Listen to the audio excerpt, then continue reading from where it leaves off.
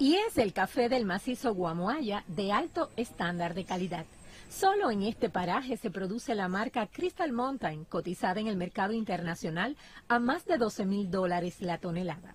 El crecimiento productivo en esta campaña confirma la labor en el programa de desarrollo de las empresas de la región del Escambray.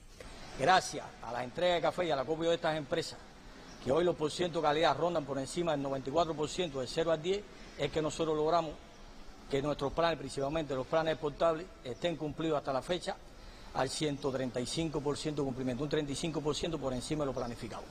El aroma que emana el cerezo es único y dicen los expertos que es justo ahí cuando se aprecia la particularidad del grano.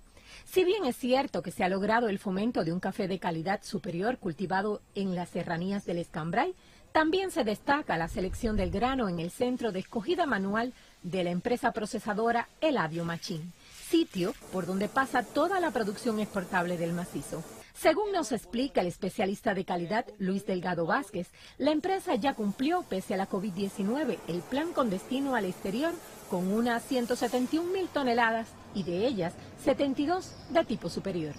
Estos caficultores están muy lejos aún de llegar a las potencialidades de la región, lo que sugiere que incrementen las acciones para la recuperación del café arábico. El café para el consumo nacional también muestra resultados productivos, aporte significativo para disminuir las importaciones del grano. Hacia varias regiones del mundo se exportan los surtidos élites del aromático grano, exclusivo de los lomeríos de Trinidad, Jibacoa, Cumanayagua y Fomento, producto que se coloca en la punta de los rubros exportables del país, el café. Evelix Tamile, Sistema Informativo de la Televisión Cubana.